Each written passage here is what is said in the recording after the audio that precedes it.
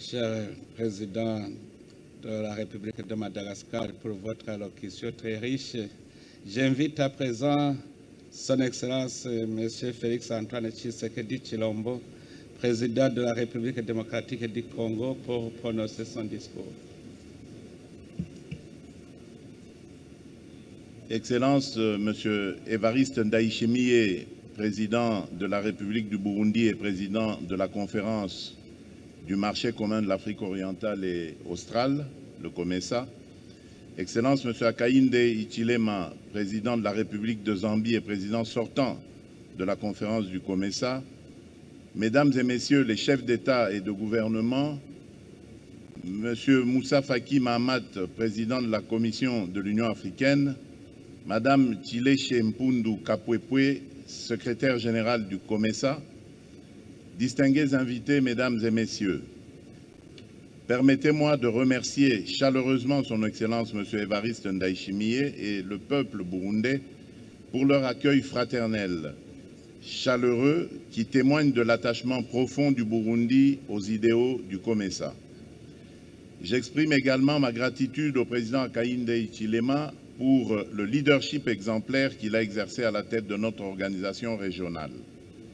C'est avec un profond sentiment de fierté et un engagement renouvelé que je m'adresse aujourd'hui à l'occasion de ce 23e sommet des chefs d'État et de gouvernement du COMESA.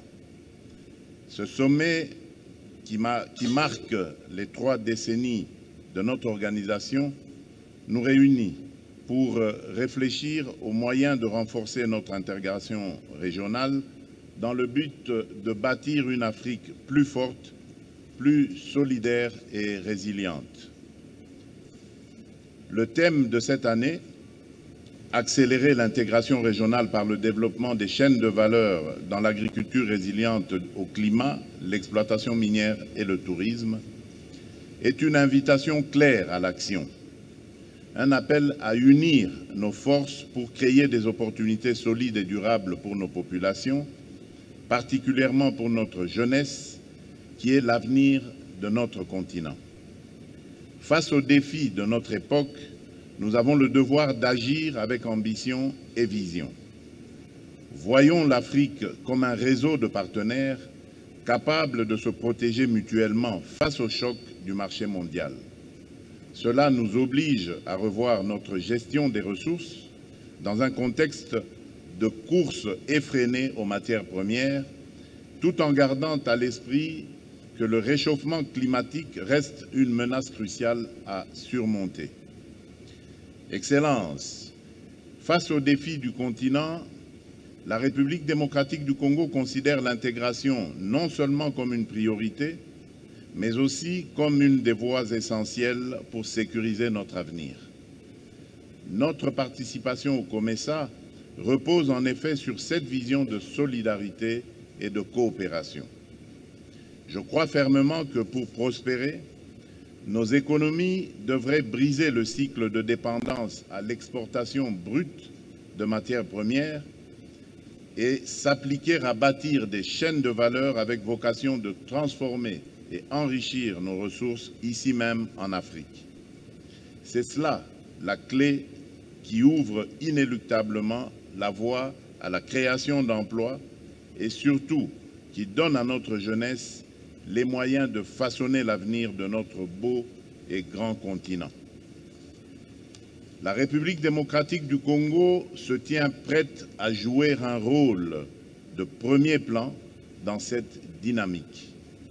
Mon pays, riche d'un potentiel agricole et minier immense, souhaite travailler main dans la main avec chacun d'entre vous pour faire de nos ressources un levier de prospérité commun, en les intégrant aux chaînes de valeur régionales pour garantir une sécurité alimentaire et énergétique solide. Le développement du tourisme durable, représente également une voie d'avenir.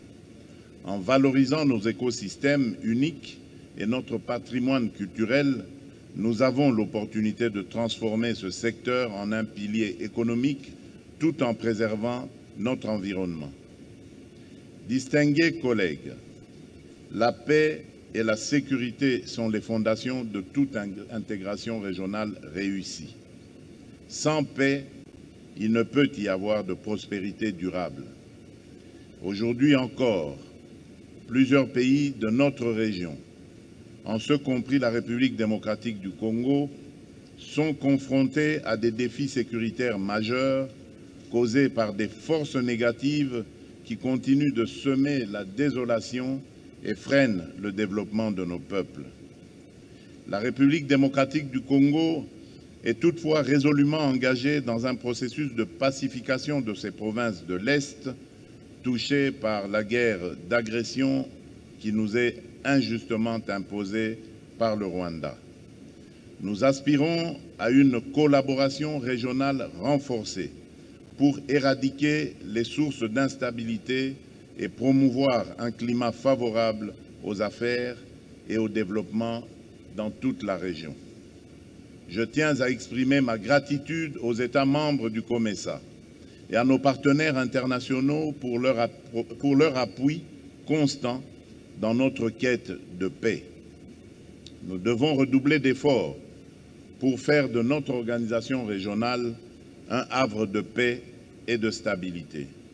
C'est à cette condition seulement que nous pourrons offrir à nos citoyens des perspectives meilleures. Excellences, Mesdames et Messieurs, ce sommet est pour nous tous l'occasion de renouveler notre engagement envers les idéaux du COMESA. Je formule ainsi le vœu que nous saisissons cette opportunité pour renforcer nos synergies, harmoniser nos politiques et tirer parti de notre diversité pour bâtir une organisation régionale prospère, résiliente et unie. La République démocratique du Congo reste pleinement engagée et déterminée à jouer son rôle au sein de cette noble organisation. Ensemble, relevons le défi de l'intégration régionale et construisons un avenir stable et prospère pour nos peuples. Je vous remercie.